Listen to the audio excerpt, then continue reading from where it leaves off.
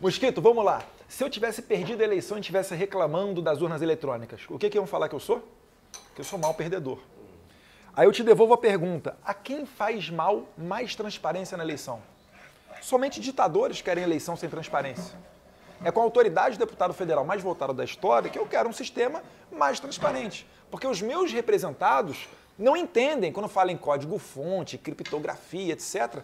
Ele não tem a segurança de que aquilo que ele digita lá vai ser contado em Brasília de maneira apropriada. Outra coisa, por que é contado em Brasília? Não pode falar sala secreta porque é muito ofensivo.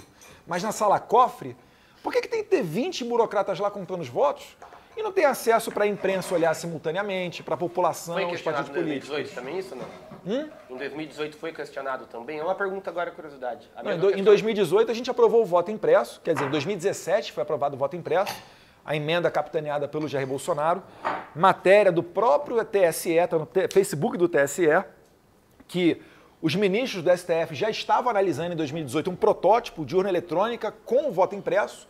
Está lá, quem quiser acessar.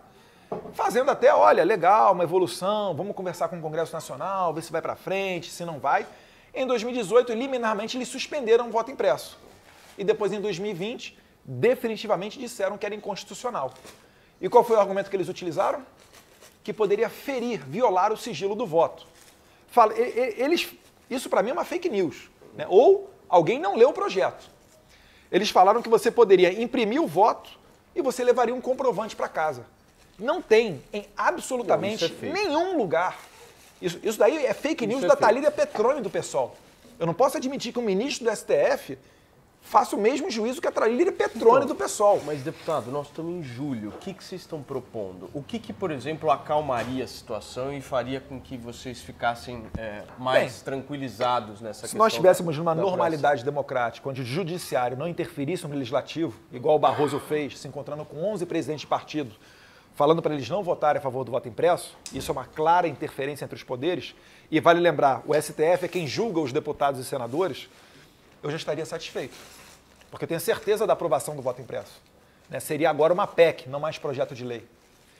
Mas, mas, mas, né?